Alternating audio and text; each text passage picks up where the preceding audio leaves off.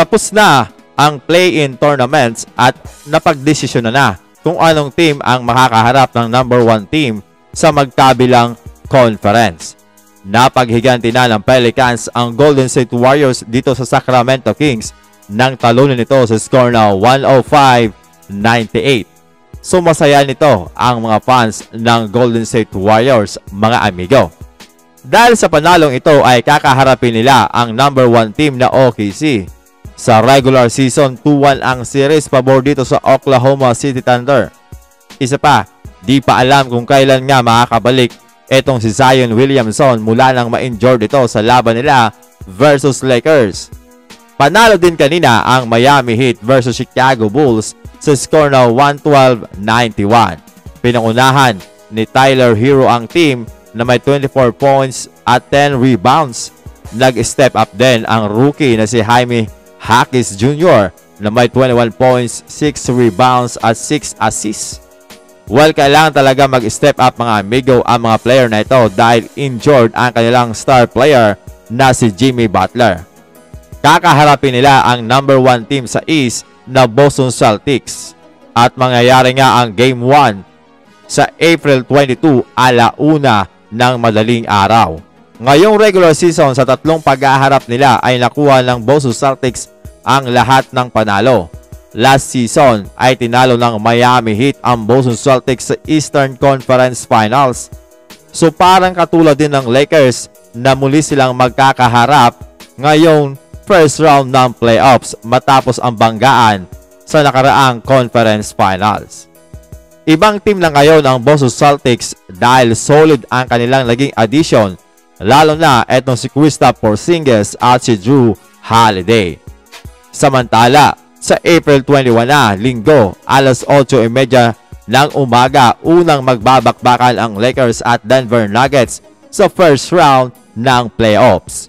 Ito ay rematch sa pagitan ng dalawang team at paniguradong ito'y dudumugin ng mga fans para panuorin kasama na dyan ang mga hater, lalo na ang hater ni Lebron James.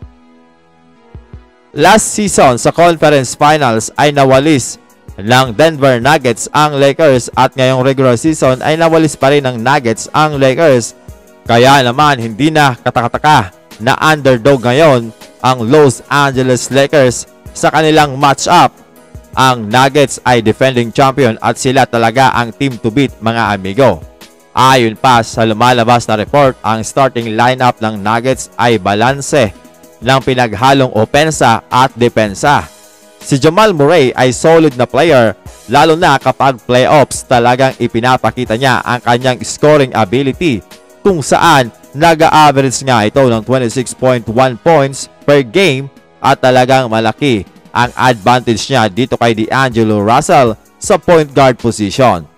Si KCP din ay solid na player at talagang fit na fit sa team. Isa pa, solid na defender ito mga amigo at malupit din ang shooting sa perimeter kung saan tumitira siya ng 40.6% from beyond the arc.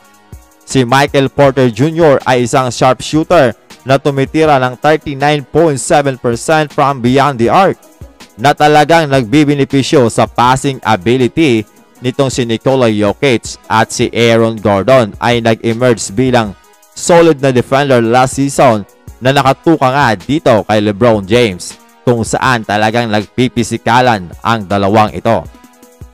Samantalang sa party naman ng Los Angeles Lakers, bagamat si D'Angelo Russell ay hindi kayang pantayan ang playoff performance ni Jamal Murray ay tumitira naman ito ngayong regular season ng 41.5% from beyond the arc. At ang kailangan lang ay ma-maintain niya ito at madala sa playoffs. Ayon kay Russell, excited na siya na makaharap ang Denver Nuggets at talagang pinaghahandaan niya ito katulad ng paghahanda nila dito sa Pelicans. Sabi ko nga mga amigo, Napakalaking bagay talaga ang shooting ni D'Angelo Russell para manalo ang Lakers. Kaya dapat talagang bigyan siya ng play ni Darvin Ham para mabawasan ang bigat ng depensa dahil paniguradong aasawahin siya ni KCP. Kailangan din mag-step up ni Austin Reeves para magbigay ng pressure sa depensa ng Denver Nuggets. at hindi kina Lebron James at AD o Dilo mag-focus ang depensa ng kalaban. Si Lebron pa rin ang leader ng team kahit medyo lampas na sa kanyang prime ay nag-average pa rin ito ng 25.7 points, 7.3 rebounds, 8.3 assists while shooting 54% from the field.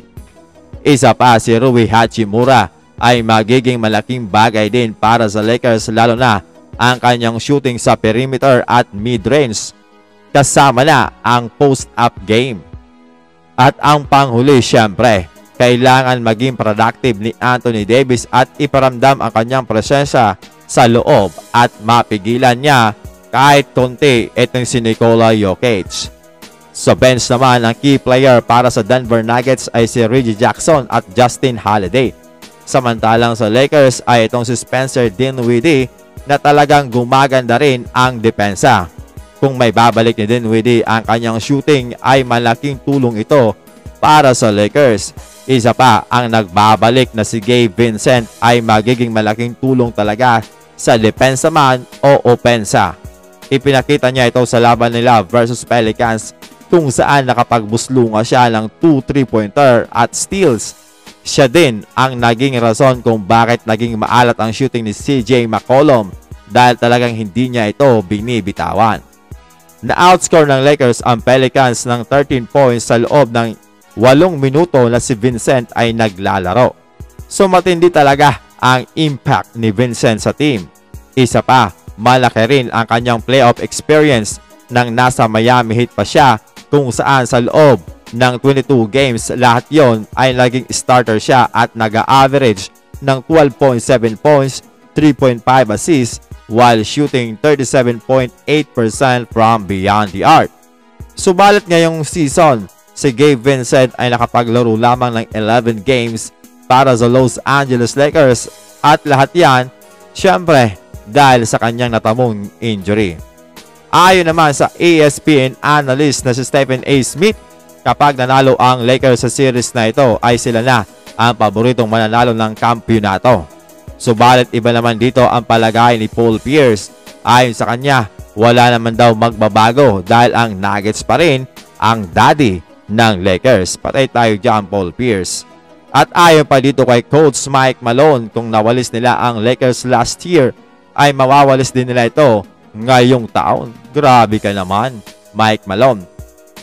So, overall, talagang lamang dito ang Denver Nuggets mga amigo at maraming pumipili na ito ang mananalo. Pero sabi nga, bilog ang bola